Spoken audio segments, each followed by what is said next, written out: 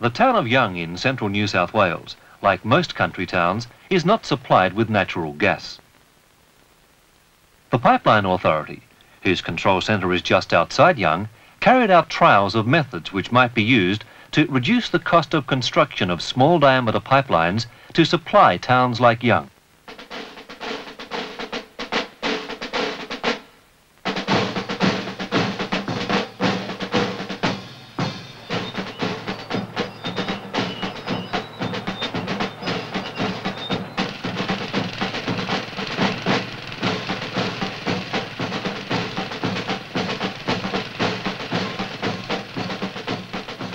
The trials concentrated on the two most expensive aspects of pipeline construction, joining pipes together and burying them underground.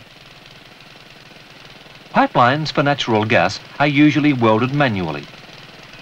This machine makes pipe joints without welding. The joint it produces is known as Zaplock. One end of the pipe is belled out by forcing it onto a steel mandrel.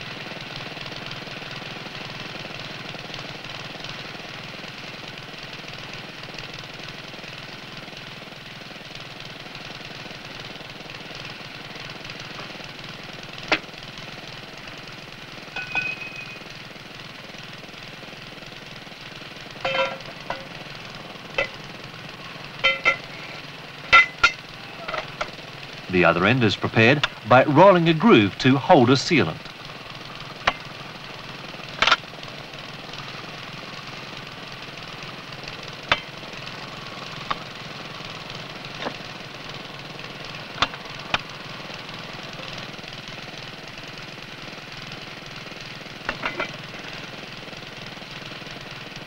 When the two pipe ends are pushed together, a leak-tight joint is formed.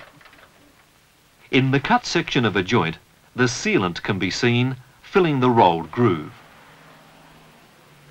The trials of the method were extended to construction of a kilometre of small diameter pipeline to allow full assessment of the method in field use.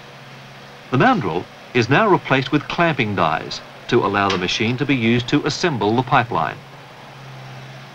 Pipes were taken from a trailer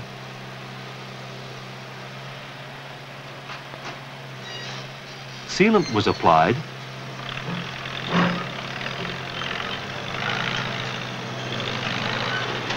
and then the ends were pushed together.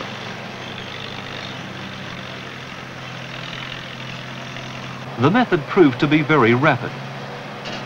The kilometre took only three quarters of an hour, with a crew of five averaging more than a joint per minute.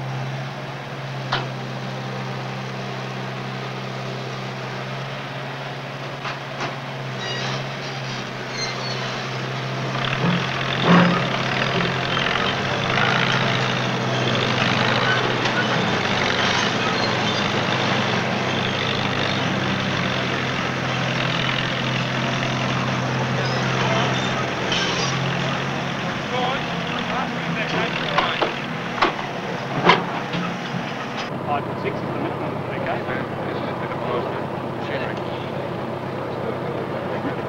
When constructing pipelines, it is often necessary to break the continuous pipe. The joints between continuous length are called tie-ins and must often be made in awkward locations adjacent to roads and creeks. The Zaplock machine is used to make this tie-in.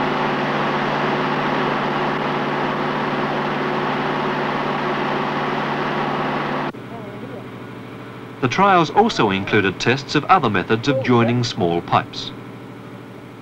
This automatic tungsten arc welder is suitable for small diameter thin wall pipes.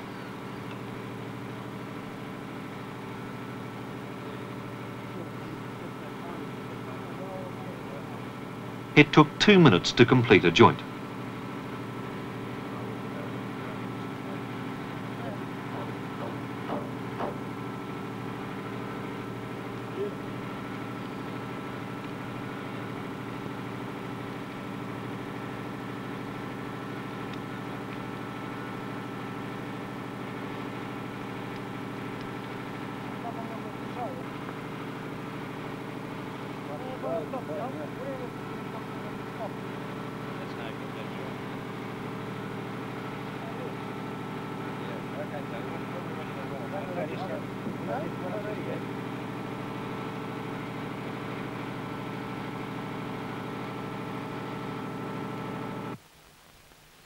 Before the pipe can be buried, the protective coating, in this case polyethylene, must be inspected. When a flaw is discovered, it can be repaired with a primer and tape.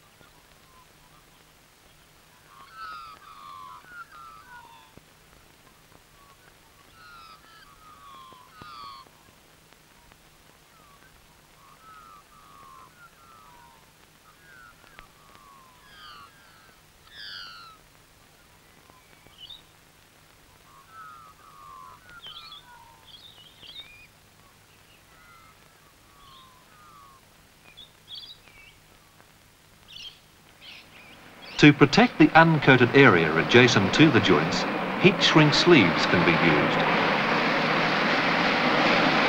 The heat of the flame causes the stretched polythene to return to its original size, sealing the pipe from corrosion.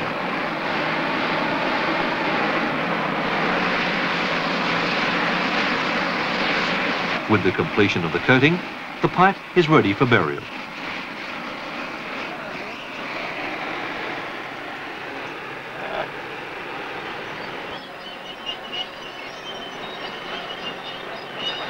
To use the experience gained in burying telecommunications cables by ploughing, the authority invited Telecom Australia to use its large cable plough to plough the trial pipe. Before ploughing, the ground is ripped to reduce the forces needed for ploughing and to break up any rocks below the surface.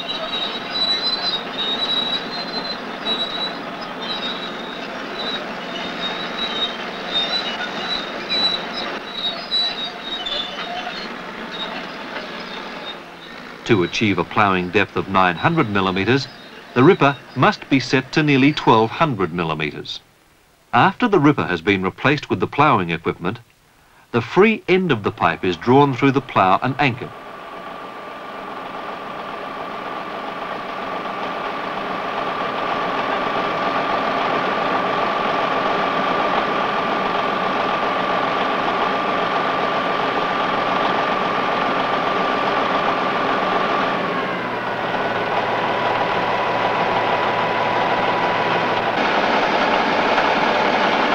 Powdered talc is used to lubricate the coated pipe as it passes through the plough.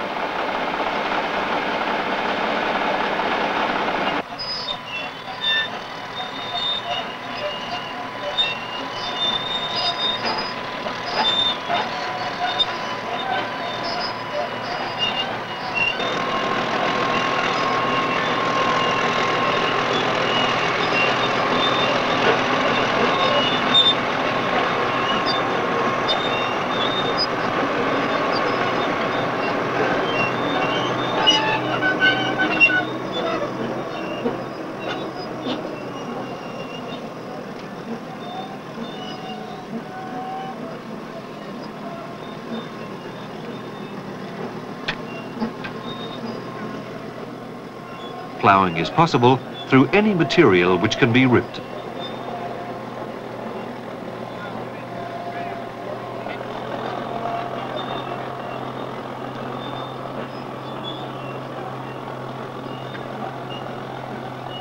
In rocky ground, the speed of ploughing is reduced.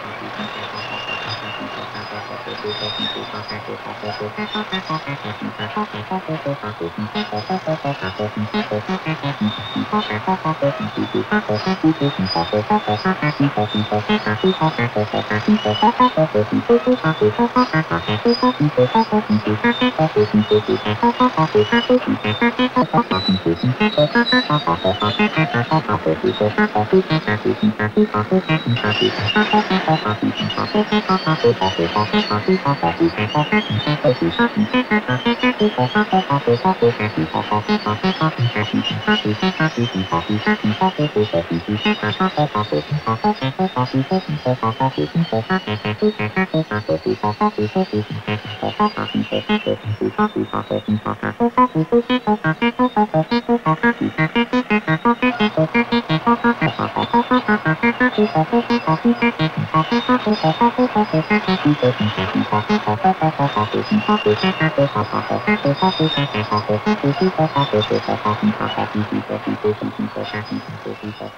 alternative to steel pipe in small diameters is aluminium, which, because it is manufactured by extrusion, can be supplied in continuous coils up to two kilometres long.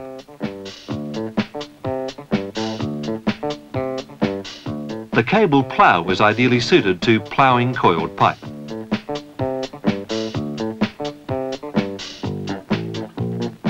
To join each coil to the previous one, an explosive welding technique is used. One end of the pipe is expanded hydraulically.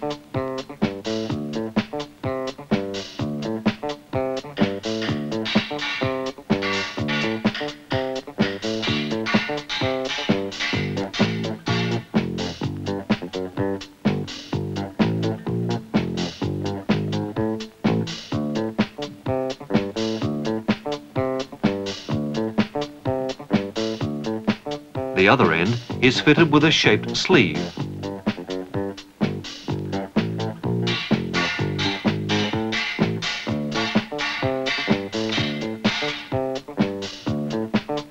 And the joint is wound with explosive cord.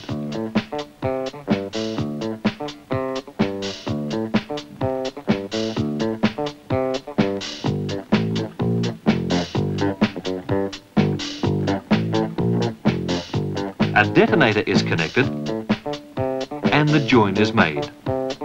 Ready, set, fire!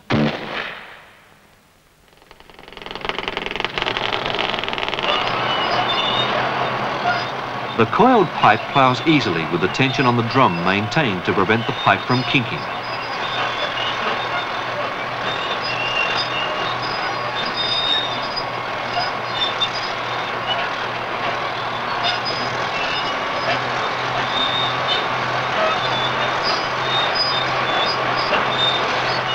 In easy ground, the plough reached speeds of 5 kilometres an hour.